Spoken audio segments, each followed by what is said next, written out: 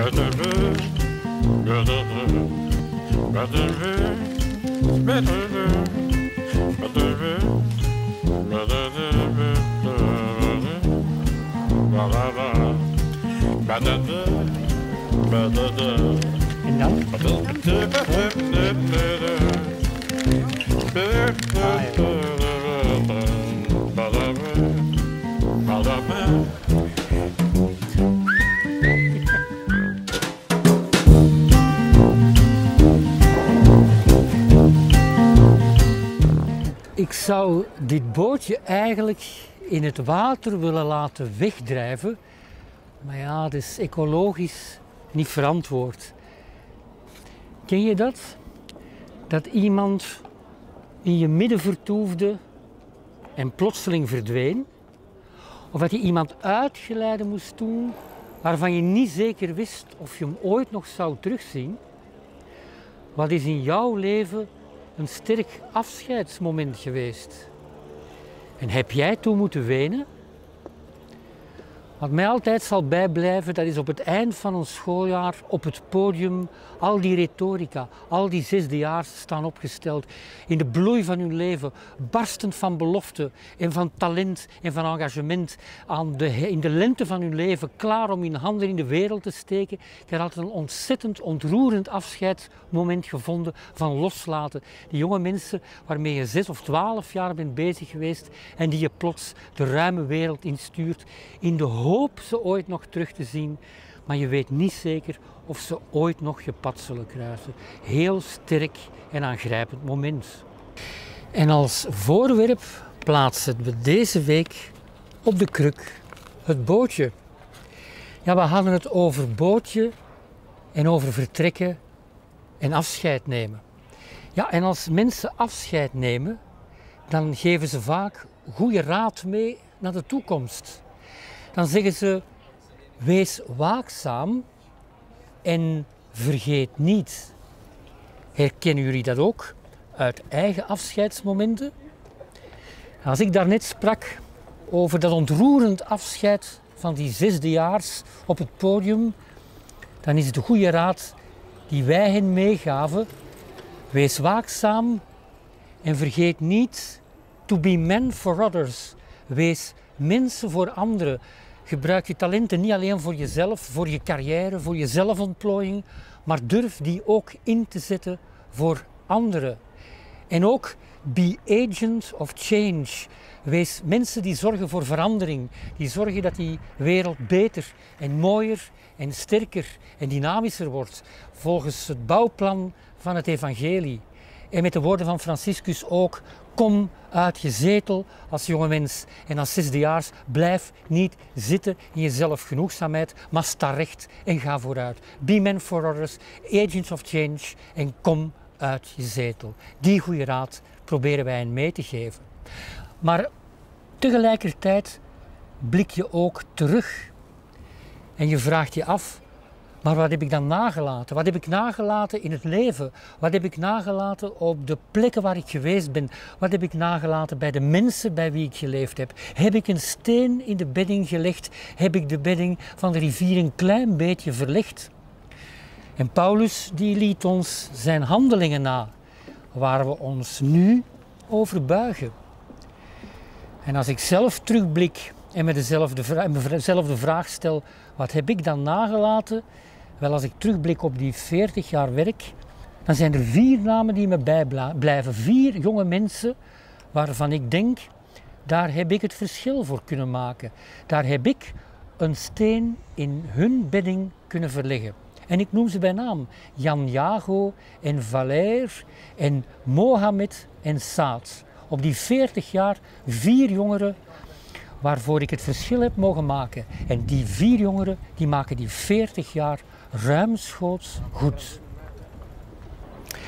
Als mens willen we iets nalaten in het leven. We willen het leven vastnemen en we willen het leven naar onze hand zetten. Maar heel vaak stuiten we daarbij op de grenzen, op onze eigen machteloosheid. We kunnen het niet. Het loopt niet zoals wij het zelf willen. En eigenlijk rest ons dan niks anders dan het maar deemoedig toe te vertrouwen aan God Herkennen jullie ook dat gevoel van machteloosheid, dat gevoel van het niet in handen te kunnen nemen? En eigenlijk kan je dan alleen nog maar neerknielen en samen bidden. En er is zo'n oud Vlaams spreekwoord en dat zegt: klaag niet, maar draag en bid om kracht. En dan moet ik eigenlijk deze dagen denken aan die vele leerkrachten die gedurende die hele lockdownperiode het beste van zichzelf hebben gegeven. Via um, livestream, via lessen, die getracht hebben hun leerlingen te bereiken, die getracht hebben aan pre-teaching te doen, die alle mogelijke middelen hebben ingezet en vooral getracht hebben diegenen die ze niet konden bereiken, toch te bereiken. Thuisbezoeken en telefoons en via smart school. En soms gaan ze heel deemoedig moeten zeggen met pijn in het hart we wouden het beste voor, we hebben ons best gedaan, maar het lukt ons niet met deze leerling. En dan zullen ze deemoedig het hoofd moeten buigen en met pijn in het hart, knielend en deemoedig moeten zeggen, het is ons niet gelukt. En dat zal hem pijn doen en dat zal hem ontgoochelen. Het is zo menselijk.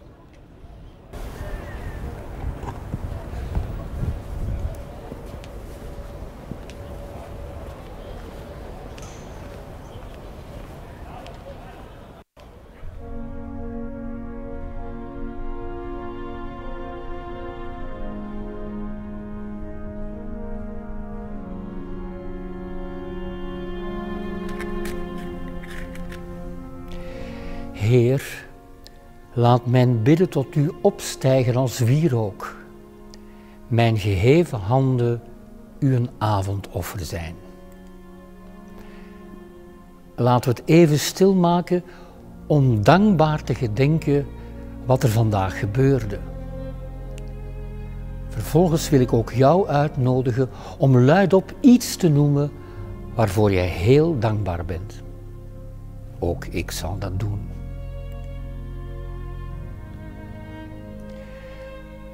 Dankbaar ben ik voor al diegenen die in mijn leven iets goeds hebben nagelaten.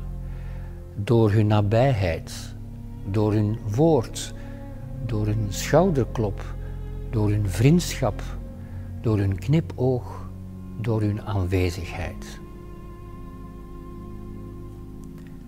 Alleluia. Hoe goed is het te zingen voor onze God. Hoe heerlijk hem onze lof te brengen. Alleluia. Hoe goed is het te zingen voor onze God. Hoe heerlijk Hem onze lof te brengen. Wanneer we terugblikken op de dag die voorbij is, zien we ook de minder mooie kanten. De minder mooie kanten van onszelf en van het leven vragen wij om Gods heil en nabijheid. God van de Heerscharen richt ons weer op, lach ons weer toe en wij zullen gered zijn. God van de Heerscharen richt ons weer op, lach ons weer toe en wij zullen gered zijn. En vandaag lezen we uit het Evangelie volgens Matthäus. Hij gaf diegene die hem dat zei tot antwoord: Wie is mijn moeder en wie zijn mijn broers? Met een gebaar naar zijn leerlingen zei hij: Kijk, hier zijn mijn moeder en mijn broers. Want wie de wil doet van mijn Vader in de hemel, die is mijn broer en zuster en moeder. Willen wij die woorden samen nog eens herhalen? Hij gaf diegene die hem dat zei het antwoord: Wie is mijn moeder en wie zijn mijn broers? Met een gebaar naar zijn leerlingen zei hij: Kijk, hier zijn mijn moeder en mijn broers. Want wie de wil doet van mijn Vader in de hemel, die is mijn broer en zuster en moeder.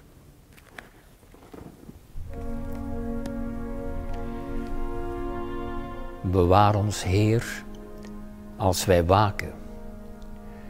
Bescherm ons als wij slapen. Dan zullen wij waken met Christus en rusten in vrede. Laat nu, Heer, volgens uw woord uw dienaar heen gaan in vrede. Mijn ogen hebben uw heil aanschouwd, die, die gij bereid hebt voor alle volkeren. Het licht dat voor alle heidenen straalt, de glorie van Israël, uw volk. Eer aan de Vader, de Zoon en de Heilige Geest, zoals het was in het begin en nu en altijd en in de eeuwen der eeuwen. Bewaar ons, Heer, als wij waken. Bescherm ons als wij slapen. Dan zullen wij waken met Christus en rusten in vrede. Barmhartige God, wij danken u voor de goedheid waarmee Gij ons deze dag hebt omringd. Waak over ons de komende nacht. Geef rust en troost aan de zieken. Sterk alle bedroefde en aangevochten harten. Laat uw licht over ons schijnen en doordring ons van uw vrede. Door Jezus Christus, onze Heer. Een rustige nacht en een goed einde schenken ons de Almachtige Heer. Amen.